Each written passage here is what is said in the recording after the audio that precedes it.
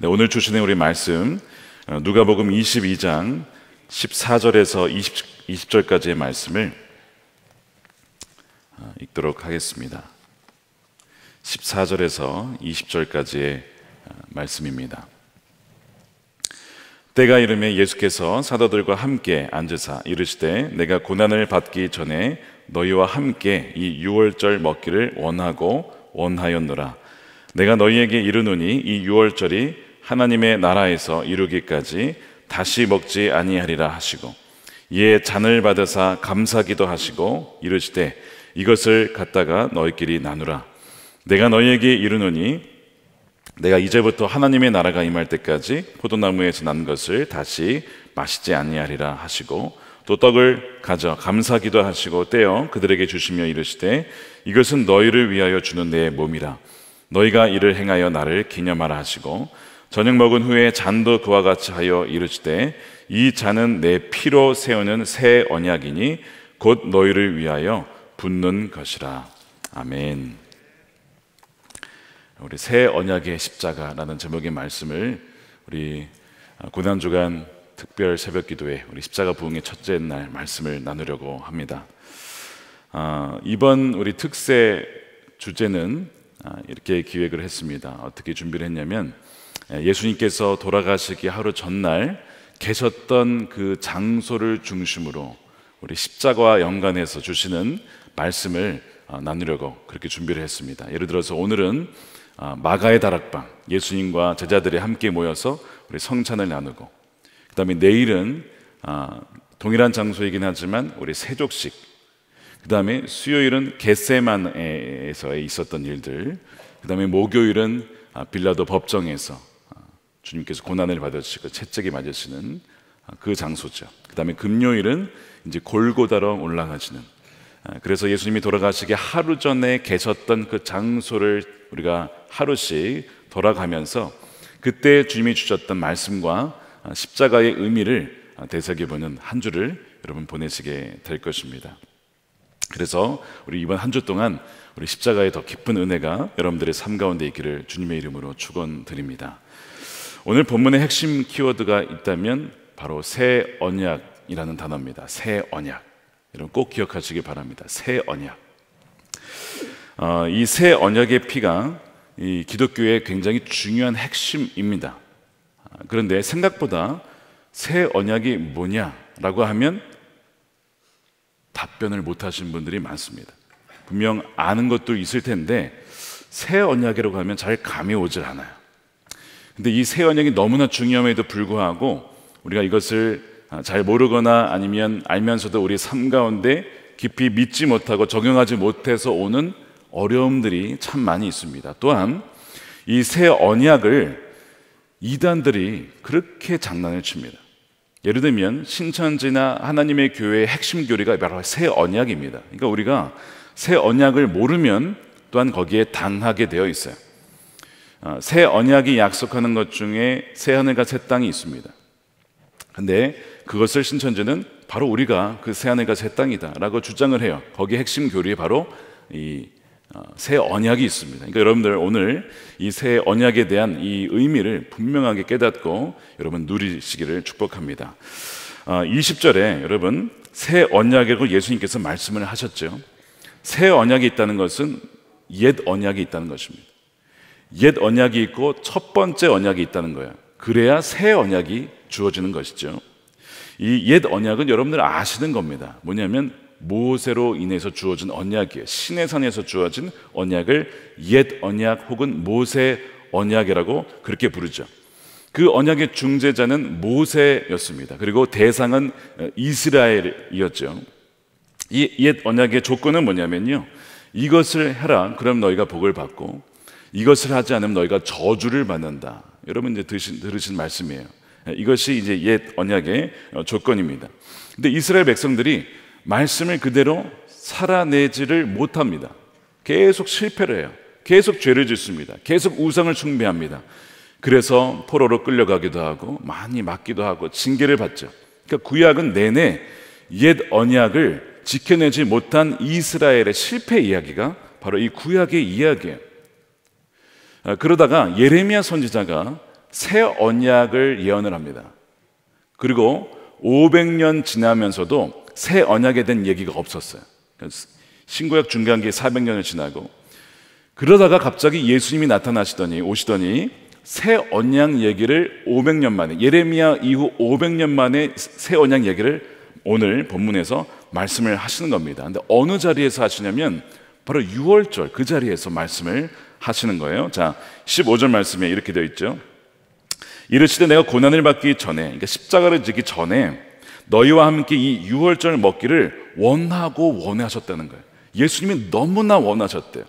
이 유월절을 의도적으로 택하신 거예요. 이 날을. 여러분 유월절은 어떤 날입니까? 이스라엘 백성이 애굽의 노예에 있었죠. 그 상태에 있다가 정치적인 노예와 경제적인 노예 모든 것이 묶여 있었다가 이제 유월절 식사 이후에 이제는 구원을 하게 되는 그들의 전체를 다 거기서 건져낸 그것을 기념하는 날이 바로 6월절이죠. 근데 예수님께서 그 6월절을 일부러 택하셨어요. 내가 너희와 함께 6월절 먹기를 원하노라 하면서 무슨 말씀을 하시는 거냐면 그때는 단지 그 노예 생활에서 건져낸 것이고 정치적인 경제적인 노예에서 건진 것이라면 이제는 완전히 새로운 정말 그전과 비교할 수 없는 새로운 유월절을 내가 행할 거야. 그게 뭐냐면 우리의 죄와 모든 사망과 모든 악에서의 완전한 해방과 자유를 가져오는 새로운 유월절을 너희가 보게 될 것이다. 그 말씀을 하시는 겁니다. 그래서 어, 그때의 피는 그냥 동물의 피였죠. 어린 양의 피로 세워진 유월절이었다면 이제는 내가 나의 피로 이루어지는 새로운 유월절이 이제 어, 어, 진행이 된다는 것이죠.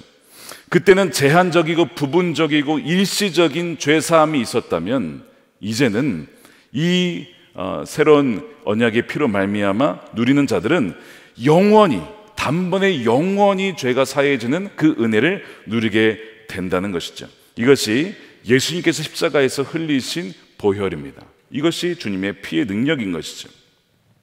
새 언약이 체결될 때가 언제냐? 바로 오늘 본문에 예수님께서 제자들과 함께 이 이제 2월절 식사를 하면서 어, 이, 것은 나의 몸이다, 이것은 나의 피다라고 할 때 이때 이제 체결이 되는 거예요. 새 언약이 실제적으로 효력을 발생할 때가 언제냐? 예수님이 십자가에서 죽으실 때입니다. 여러분 그거 아셔야 됩니다. 언약이라는 성경의 신약 단어의 언약이라는 말과 유언이라는 단어가 동일한 단어입니다. 언약과 유언이 똑같은 단어예요. 여러분 유언이 효력을 발생하려면 어떻게 되죠? 유언한 사람이 죽어야 됩니다. 그때부터 효력을 발생해요. 그러니까 이 새 언약이 유언이라고 한다면 이것이 효력을 발생한 때가 언제예요? 십자가에서 주님이 죽으시는 순간. 이제는 이 은혜가 효력을 발생하는 거예요. 믿는 자에게 영원한 죄 사함이 주어지게 된다는 것이죠. 자, 그래서 오늘 이 새 언약이 주는 은혜 여러 가지가 있지만 두 가지를 나누고 오늘 우리 기도하려고 합니다. 첫 번째는 뭐냐면요. 새 언약이 가져오는 그 은혜는 완전하고도 영원한 죄 사함을 가져오는 것입니다. 여러분 이거 모르는 거 없으실 거예요. 그런데 목회를 하다 보니까요. 죄 사함의 은혜를 완전히 누리는 분들도 있지만 여전히 계속 그 과거에 지었던 죄책감으로 자유를 누리지 못하고 계속 거기에 얽매 있는 분들이 여러분 생각보다 굉장히 많다는 거 아십니까? 여러분 생각해 보세요. 여러분이 과거에 지었던 죄에 대해서 여러분 완전히 자유로우십니까? 아니면 과거에 그 지었던 죄가 계속 생각이 나고 나를 얽매이고 나로 하여금 계속 묻게 만듭니까? 생각보다요. 여러분 자유롭지 못한 분이 너무나 많다는 거예요. 젊은 시절에 방탕하게 살다가 회개는 했지만 왠지 마음에 내 죄가 사함받지 못할 것 같아. 나는 너무 끔찍한 죄를 저질렀기 때문에 아무리 주님께서 용서하신다고 말씀을 해도 아, 내가 낙태를 했는데, 내가 무슨 죄를 졌는데, 내가 그런 끔찍한 죄를 졌는데 어떻게 내가 용서를 받을 수 있을까? 여러분, 이런 분들이 굉장히 많다는 것입니다. 어, 그래서 여러분, 오늘 여러분들 중에서 아, 여전히 내 마음 가운데 죄책감이 남아있다. 그렇다면 여러분 새 언약의 은혜를 아직 누리지 못하는 겁니다. 그러나 오늘 분명하게 이 새 언약의 피로 말미암아 주어지는 죄사함의 은혜를 분명하게 누리는 여러분들이 되시기를 축복합니다. 어, 성경에도요 그런 비슷한 여인이 나옵니다. 누가 보면 7장에 보면요 예수님이 한 바리새인의 집에 초청을 받으셨어요. 그 식사를 하는데 한 여인이 향유를 들고 오더니 자기의 머리로 이렇게 어, 씻는 것을 이렇게 붓는 것을 보게 됩니다. 37절에 보면요. 그 동네에 죄를 지은 한 여자가 이렇게 되어 있죠. 죄를 지은 여자예요. 어, 학자들이 무슨 얘기를 하냐면 아마 창녀였거나 가늠했을 것이다. 그래서 동네 사람들이 다 알아요. 그 여자는 그런 죄를 지은 여자라고. 다 알고 있는 그런 죄를 지은 여인입니다.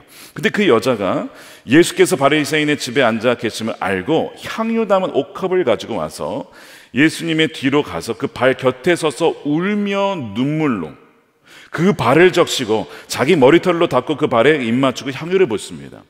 자, 여기 보십시오. 왜 그 여인이 울며 눈물로 닦았을까요? 분명히 그녀에게는 죄로 인해서 말할 수 없는 고통이 과거에 있었을 거예요. 그 아픔이 있었을 것입니다. 말할 수 없는 감추어진 소위 과거사가 있었던 여인입니다. 그녀도 그 과거사와 죄 문제에 대해서 아, 이것을 어떻게 해결해야 너무나 괴롭고 자기가 분명 죄를 지은 게 맞아요. 근데 해결할 방법이 없는 거예요. 그런데 어느 날 예수님에 대한 이야기를 듣고 그분의 말씀을 듣고 본인이 그 용서를 받았다라는 마음이 든 거예요. 나 같은 죄인을 용서해 주신 그 사랑이 너무나 감격해서 그 귀한 향유를 가지고 예수님께 붓는 것이죠. 근데 울면서 부어요. 근데 여긴 두 가지 마음이 있어요. 하나는 나의 죄를 사해 주신 주님의 그 사랑과 은혜에 너무 감격해서 우는 것과 한편으로는 여전히 내 안에는 죄인이라는 마음이 있어요. 그래서 그것을 바라보고 있었던 그 옆에 바리새인이요. 어떻게 보냐면 이 여자는 죄인이 아니냐. 여전히 이 바리새인은 이 그 여인을 뭘로 보는 거예요? 죄인으로 봅니다. 죄인이에요. 아주 그냥 음탕한 죄인이라 이거죠. 근데 그랬을 때에 예수님은요, 이 두 명의 모습을 다 봅니다.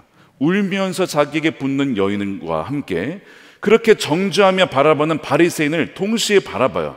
그러면서 예수님이 뭐라고 하시냐면 누가복음 7장 47절에 내가 너에게 너는 누구냐 바리새인에게 말하죠. 그녀의 많은 죄가 사하졌도다. 그런 얘기를 해요. 자, 너 왜 그녀를 보면 정죄를 하냐? 그녀의 과거에 대해서 너가 뭔데 정죄를 하냐? 내가 너에게 말하는데 그녀의 죄는 이미 사해졌다. 너가 정죄할 수 있는 게 아니야. 이미 모든 죄가 사라졌어. 나는 기억하지도 않아. 그러면서 하신 얘기가 어, 그녀의 사랑함이 많음이라 사함을 받은 일이 적은 자는 적게 사랑하지만 그녀의 죄가 워낙 컸지만 다 용서를 받았기 때문에 그 사랑이 너무 큰 거야. 주님 사랑합니다. 너무 감사합니다. 그래서 부은 거거든요. 이 여자에게 이르시되 너의 죄 사함을 받았느니라. 왜 여자에게 이 얘기를 하실까요? 이 여자는 분명 자신의 죄 사함이 너무 감격해서 지금 붙는 건데 왜 예수님이 너의 죄 사함을 받았느니라 다시 말씀한 줄 아십니까? 내가 죄사함을 받았다는 것은 알자면 여전히 내 마음과 사람들의 시선도 있고 내 마음 가운데 여전히 죄사함에 대한 확신도 있으면서도 뭔가 남아있는 말 어떤 죄책감. 아니야. 너의 죄 완전히 사라진 거야. 완전히 사라진 거야. 너 사람들의 그 시선과 그 어떤 정죄 아니야 너의 죄는 깨끗하게 씻어졌어 라고 주님이 다시 한번 확증해 주시는 것입니다 여러분 회개할 때에 우리의 죄를 진정으로 자백하고 주님 정말 내가 죄인입니다라고 우리가 자백하면 주님은 믿부셔서 우리의 죄를 사해 주신다고 했잖아요. 이 회개는 이 죄 사함의 조건이죠. 그런데 우리가 회개했다고 해서 죄를 어떤 용서를 받지만 근거가 되는 것은 회개가 아니라 바로 피 흘림입니다. 히브리서 9장 22절에 이런 말씀이 나와요. 율법을 따라 거의 모든 물건이 피로써 정결하게 되나니 피 흘림이 없음즉 사함이 없다. 그러니까 우리 죄를 사해 주시는 것은 사함 받는 것은 우리가 진정으로 회개해서가 아니라 물론 그것이 조건이지만 우리가 죄 사함을 받을 수 있는 근거는 뭐냐면 근거는 주님이 우리를 위해서 피를 흘리셨기 때문이에요. 그는 바꿀 수가 없는 것입니다. 그것이 있기 때문에 우리의 죄가 완전히 사라지게 되는 것이죠. 이것이 궁극적이신 어린 양이신 예수님이 흘리신 피고 이것이 새 언약의 피라는 것입니다. 거기에는 완전한 용서와 완전한 죄 사함이 있는 줄로 믿으시기를 축복합니다. 여러분 히브리서 8장 8절에 주께서 새 언약을 맺을 것이다라고 말씀을 합니다. 자, 보세요. 그들의 잘못을 지적하여 말씀하시다. 주께서 이르시되 볼지어다 날이 이르리니 내가 이스라엘 집과 유다 집과 더불어 새 언약을 맺으리라. 이 새 언약의 내용이 무엇이냐? 그 다음에 12절에 나옵니다. 내가 그들의 불의를 긍휼히 여기고 여러분 불의하지 않은 분 한번 손들어 보십시오. 다 죄를 짓습니다. 그런데 그 불의를 긍휼히 여기시는 분이 하나님이십니다. 그들의 죄를 다시 기억하지 아니하리라 하셨느니라. 새 언약이라 말씀하셨음에 첫 것, 첫 언약, 모세 언약은 낡아지게 하신 것이니 낡아지고 쇠하는 것은 없어져 가는 것이라. 그것은 사라졌고 이제 새 언약이 있어요. 그것은 다시는 내가 그들의 죄를 기억하지 아니할 것이다. 라고 말씀하시는 거예요. 이것이 바로 죄사함, 완전한 죄사함이 새 언약이 여러분의 핵심입니다. 어, 그런데 오늘 제자들의 만찬에서 피로 세우는 언약이라 말씀하시면서 우리에게 다시는 이제는 정죄함이 없다. 로마서 8장에 뭐라고 나와요? 그리스도 안에 있는 자에게는 결코 정죄함이 없나니. 이것이 우리에게 주시는 은혜인 것입니다. 누가 누가 우리를 참수합니까? 누가 여러분을 과거사를 가지고 여러분 들추겠어요? 마귀는 그렇게 하죠. 마귀만이 참소를 합니다. 그러나 주 예수 그리스도의 안에 있는 자들은 새 언약의 피로 말미암아 완전한 사함을 받았으며 여러분은 믿으시기를 축복합니다. 이것이 첫 번째 은혜예요. 근데 새 언약의 은혜는 여기서 그치지 않아요. 두 번째가 있습니다. 뭐냐면 새 언약은 하나님의 법이 우리의 마음에 새겨져서 이제는 하나님을 우리의 마음 가운데 우리의 영으로 알게 되고 이제는 그것을 살아낼 수 있는 능력이 이미 주어졌다는 것입니다. 굉장히 중요한 거예요. 여러분 구약에서는 말씀이 어디에 새겨졌어요? 돌에 새겨졌어요. 돌판에 새겨졌어요. 그게 십계명이에요. 그것이 구약입니다. 그 옛 언약의 말씀이죠. 그런데 새 언약에서는 하나님 뭐라고 하시냐면 내가 새 마음을 줄 것이고 내가 너희들의 마음 가운데 내 법을 새겨 줄 것이다. 이제는 우리 마음 가운데 하나님의 말씀이 새겨지게 된다는 것이죠. 이것이 어디 나오냐면 예레미야 31장에 이미 나와 있어요. 자, 이렇게 되어 있습니다. 여호와의 말씀이니라 날이 이르리니 내가 이스라엘 집과 유다 집에 새 언약을 맺으리라. 이미 예레미야가 말했다니까요. 이 언약은 내가 그들의 조상들의 손을 잡고 애굽 땅에서 인도하여 내던 날에 맺은 것 신의 산 언약 모세 언약과 같지 않다는 거예요. 내가 그들의 남편이 되었지만 그들이 내 언약을 깨뜨렸음이라. 그러니까 그 당시에는 이거를 지켜낼 수가 없어요. 내가 너희의 신랑이야 했지만 계속 가늠하고 고멜처럼 다른 우상, 돈 섬기고 우상 섬겼던 그 이스라엘 백성들. 이게 이거 지켜낼 수가 없는 겁니다. 계속 바람을 피는 거예요. 깨, 언약을 깬 것이죠. 근데 새 언약을 주겠대요. 이제는 그들의 마음 가운데 내 영을 부어줄 것이다. 내 뜻을 새겨줄 것이다. 그래서 33절 말씀에 이렇게 되어 있습니다. 그러나 그날 후에 내가 이스라엘 집과 맺을 언약은 이러하니 내가 나의 법을 어디에 새겨져요? 그들의 속에 우리 마음에 두고요. 마음에 기록하여 나는 그들의 하나님이 되고 그들은 나의 백성. 이, 이 지금 신랑 신부 이 부부가 된다는 말씀이죠. 그들이 다시는 각기 이웃과 형제를 가르쳐 이르기를 너는 여호와를 알라 하지 아니하리니 이는 작은 자로부터 큰 자까지 다 나를 알기 때문이라 내가 그들의 악행을 사하고 다시는 그 죄를 기억하지 아니하리라 자 아까 죄삼에 대한 얘기가 여기도 나와요 죄삼만이 아니라 두 번째 뭐가 있다고요? 주의 영을 우리 가운데 부어 주시고 새 마음을 주시고 하나님 법을 우리 마음 가운데 새겨서 이제는 하나님을 알아야 합니다. 말할 필요가 없대요. 여러분 왜 그럴까요? 하나님의 영이 거듭나는 순간 우리 안에 완전히 들어와서 새겨졌기 때문에 그래요. 근데 놀라운 건 뭐냐면요. 어린 나이부터 어르신에 이르기까지 예수님을 믿고 거듭나서 새 영이 성령이 임하게 되면요. 이제는 그 성령께서 주님을 알게 하고 가르쳐 주시고 친히 인도해 주시는 그것이 된다는 겁니다. 놀라운 은혜죠, 여러분. 근데 이것을 우리가 아는 것 같지만 모르고 신앙생활 하는 분들이 너무나 많다는 거예요. 성령님께서 친히 알려주시고 인도하시고 하나님 마음을 깨닫게 하시는 것을 모르는 분들이 너무나 많다는 것입니다. 근데 분명히 말씀하잖아요. 성령이 임하게 되면요. 그의 주의 법이 이미 우리 마음 가운데 새겨지게 되는 것입니다. 이것은 이제는 억지로 힘들게 하는 것이 아니라 억지로 지는 것이 아니라 기꺼이 질 수 있고 또한 어, 그 성령으로 말미암아 이제는 말씀을 살아낼 수 있는 새 백성이 된다는 뜻입니다. 자, 여러분 잘 아시는 말씀이에요.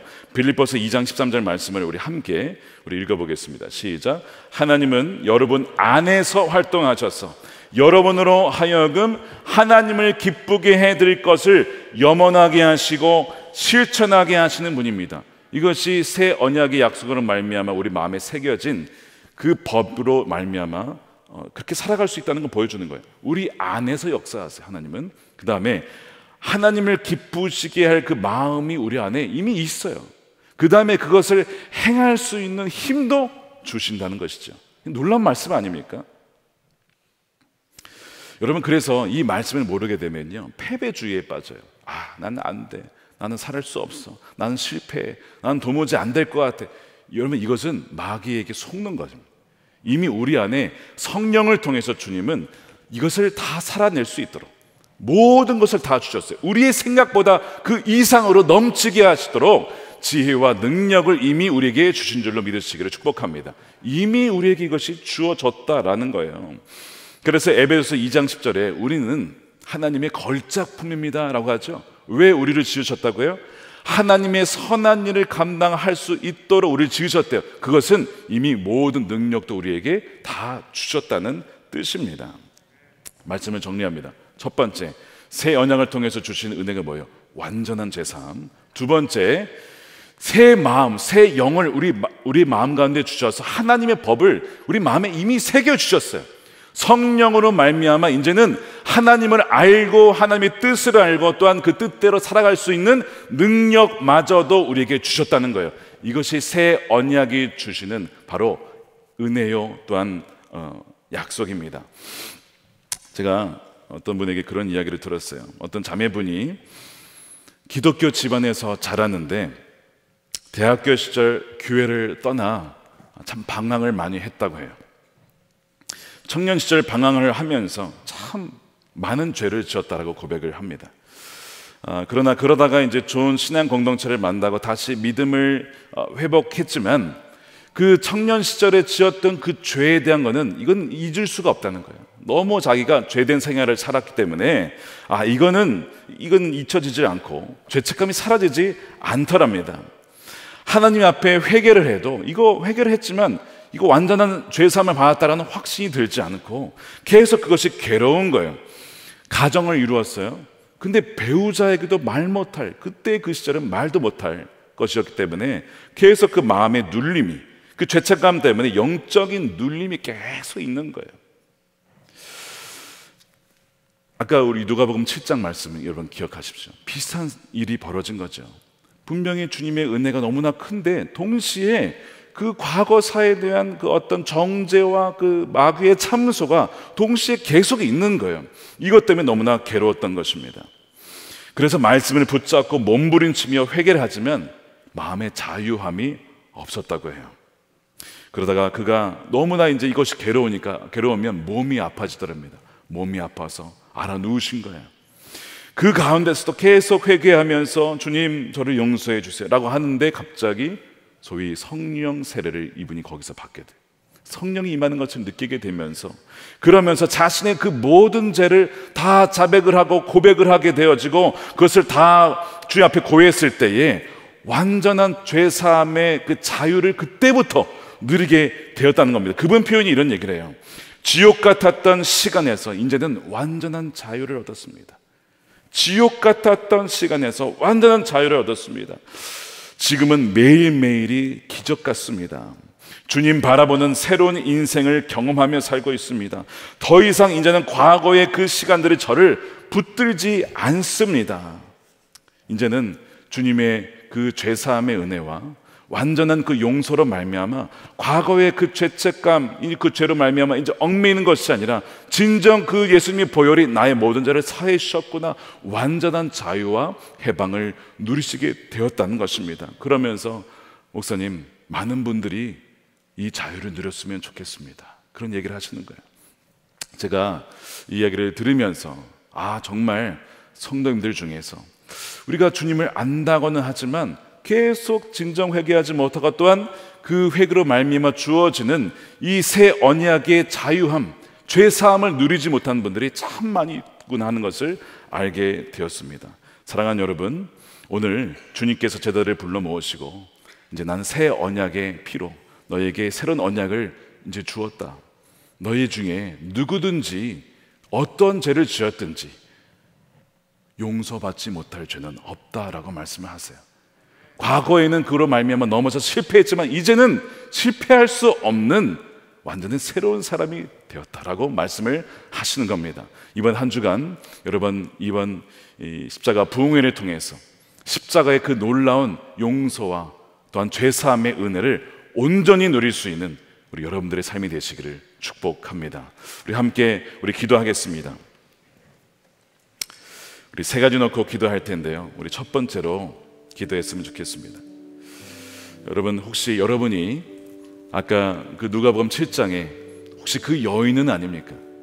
주님 너무나 주님의 그 죄사함의 은혜에 감사합니다. 그러나 동시에 그 바리새인의 정죄와 어떤 참소로 말미암아 괴로워하시는 분이 여러분 계실 거예요.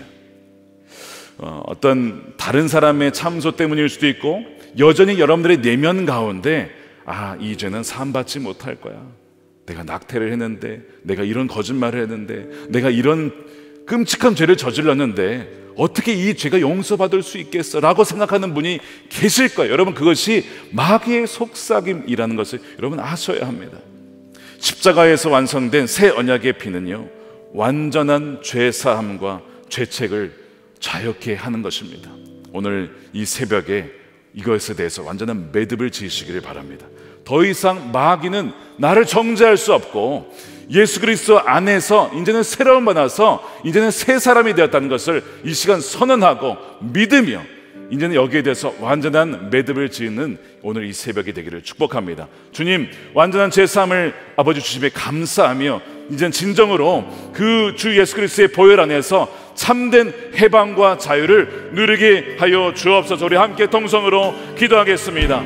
하나님 감사합니다. 그렇습니다. 주님. 주님의 십자가의 십자가의 그 은혜가 아버지의 새 언약의 피로 말미암아 완전한 자유와 해방을 아버지 선언합니다. 주여 과거에서 그 어떠한 죄악에서 아버지 하나님 여전히 아버지 맞물려 있고 억눌려 있는 자가 있습니까? 그 여인처럼 장녀와 같이 살았던 삶그 젊은 시절에 아버지 수많은 죄악으로 말미암아 지을 수 없을 것이라고 생각했던 수많은 자가 있었습니다. 아버지 그러나 주 예수님께서 십자가에서 우리의 우리 모든 죄를 사하여 주셨습니다. 아버지 십자가의 완전한 죄 삶과 은혜를 주여 이 새벽에 부어 주시옵소서. 아버지 죄로 말미암아 죄책으로 말미암아 아버지 오늘 자유를 누리지 못하고 있는 성도들이 있습니까? 완전한 그 죄사함. 아버지 우리를 사랑하시고 아버지 완전히 부어주시는 하나님의 그 은혜로 말미암아 주여 그 자유를 누리는 은혜의 시간들이 되게 하여 주시옵소서. 아버지 눈물로 울며 그 감동으로 기도하며 나아가는 아버지 우리 아버지 우리 모든 성도들이 되기를 원합니다. 아버지 장녀조차도 주 예수 그리스도의 은혜에서 멀어질 수가 없습니다. 그 피로 말미암아 완전한 죄사함을 팔아가시는 하나님의 그 은혜의 아버지 하나님의 감격을 주여 누리게 하여 주시옵소서. 우리 두 번째로 기도할 때에 우리 새 언약에 주는 그 은혜가 뭐냐면 바로 하나님의 법이 우리 마음에 새겨졌어요. 여러분들이 양심을 깨울 때에 성령께서 여러분 가운데 근심하거나 말씀하실 때 바로 그 이유는요. 말씀이 법이 우리 마음에 성령으로 말미암아 새겨졌기 때문에 그래요. 그리고 또한 이제는 말씀을 살아낼 수 있는 능력도 이미 주어졌습니다. 여러분 속으시면 안 돼요. 나는 안 돼. 나는 못 살아내. 여러분, 그게 마귀가 하는 짓입니다. 이미 모든 것을 살아낼 수 있는 힘과 지혜, 능력을 다 주신 줄로 믿으시길 축복합니다. 이 두 번째로 기도할 때에 주님, 모든 것을 우리 가운데 주셨습니다. 말씀도 주셨고 주의 뜻도 알게 해주셨고 살아낸 능력도 주셨사오니 이제는 죄를 이기며 승리의 삶을 살아내게 하여 주시옵소서. 우리 주여 한번 외치고 간절히 부르짖겠습니다. 주여 그렇습니다. 주님 성령으로 말미암아 아버지 하나님의 법이 우리 마음 가운데 새겨졌습니다. 아버지 이제는 옛 사람이 아니라 옛 언약의 사람이 아니라 새 언약의 사람입니다. 성령으로 말미암아 하나님의 법이 돌이 아니라 우리 마음 가운데 새겨졌습니다. 이제는 하나님의 뜻을 알고 알 뿐만 아니라 그 뜻대로 살아갈 수 있는 능력도 우리 가운데 주어졌음을 믿고 감사를 드립니다. 주여 날마다 날마다 죄를 이기고 날마다 날마다 마귀에게 승리하고 아버지 하나님 진정 새 백성 하나님의 새로운 백성으로 아버지 하나님 그렇게 정결을 살아갈 수 있는 우리 모든 선한 목사교회 우리 모든 우리 성도들이 되게 하여 주시옵소서.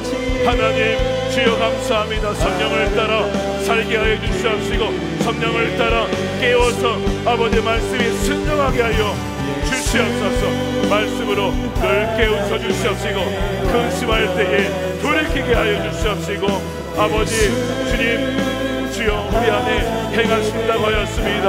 하나님이 기뻐하신 뜻을 주여 우리 가운데 알게 하여 주시고 아버지 하나님 주여 감당할 수 있는 실천할 수 있는 그 능력으로 아버지는 날마다 그렇게 살아가는 우리 모든 성도들이 되게 하여 주시옵소서 마지막으로 한 번 더 우리 기도하고 개인적으로 기도하시다가 어, 돌아가겠습니다. 어, 우리 새 언약의 피해 말씀을 드렸는데요. 이 새 언약의 범위는 어, 이스라엘만이 아니라 우리 모든 열방과 민족이고요. 또한 어린아이부터 어른까지입니다. 그러니까 여기 본 말씀에도 아까 읽었지만 어린 아이들도 또한 어른들도 특별히 이 다음 세대들도 성령이 부어지게 되면 그 마음에 바로 하나님 법이 새겨지고 또한 아버지의 뜻을 알고 그 뜻대로 행할 수 있는 것이 주어진다는 것입니다. 아이들에게도 이 약속이 주어졌어요. 우리 오늘 기도했던 우리 다음 세대의 아이, 또 우리 다음 세대의 수많은 아이들이 있습니다. 이 시간에 기도할 때에 성령을 그 어린 아이들에게도 부어 주시옵소서. 어린 시절부터 사무엘이 아버지의 하나님 뜻을 알고 정말 정결하게 자라났지 않았습니까? 성소에서 정말 그렇게 자라났던 사무엘 그를 통하여서 나라를 바꾸셨는데 주여 우리 다음 세대에게 하나님의 영을 부으시고 아버지의 마음과 뜻을 알고 어린 시절부터 뜻대로 살아갈 수 있는 우리 다음 세대가 될 수 있도록 우리 다음 세대를 위해서 한번 통성으로 부르짖고 기도하도록 하겠습니다. 주여! 그렇습니다. 하나님 우리 나이부터 어르신 이르기까지 성령을 부어 주시옵소서. 성령을 부어 주시옵소서 아버지 하나님 마음에 아버지 하나님 주여 너들의 아버지 부어주시고 깨닫게 하여 주시옵시고 아버지 하나님 알게 하여 주시옵소서. 할렐루야 아버님 주여 바라보며 나가며 할렐루야 아버님 주여 바라보며 나갈 수 있는 하나님 인도하여 주시옵소서. 할렐루야 아버님 아버님 감사하며 주여 죽어가며 할렐루야 아버님 기도하며 나갈 때마다 아버지 하나님 주여 무릎으로 나가게 하시고 우리 아버지 어린 아이들이 어린 삶은 주의 성령을 받게 하여 주시고 성령의 세례를 받게 하여 주시고 아버지 마음을 뜻을 알고 하나님 그 뜻대로 행할 수 있는 귀한 다음 세대가 되기를 원하며 저들의 아버지 회개를 아버지 할 때마다 주의 모든 죄가 사해지고 죄에서 돌이키게 하여 주시옵시고 죄를 이기며 아버지 모든 중독에서 자유함을 누리게 하여 주시옵소서. 할렐루야 아버지 감사합니다. 주여 너들의 치열한 영적인 전쟁터에서 살아가며 아버지 너들 가운데 함께 동행하여 주시고 너들의 주님과 동행하게 하여 주시옵시고 아버지 뜻대로 살아갈 수 있는 하나님의 것인 은혜가 주여 넘치게 하여 주시옵소서. 할렐루야. 찬양함 이번 한 주간 십자가의 무게를 통하여 십자가의 은혜를 더욱더 누리며 한 주간 되게 하여 주시옵소서. 한 명 한 명 하나님의 은혜로 말미암아 살아가게 하여 주시고 감당할 수 있도록 주여 성령과 동행하는 이번 한 주가 되게 하여 주시옵소서. 우리 새벽에 나온 성도를 축복합니다. 아버지 넘치는 은혜가 있게 하여 주시고 아버지 부어주시는 은혜로 말미암아 아버지 하나님 순종하게 아버지 이번 한 주가 한주 승리하며 십자가의 길을 걸어나갈 수 있도록 주여 인도하여 주시옵소서. 찬양합니다. 감사합니다. 주님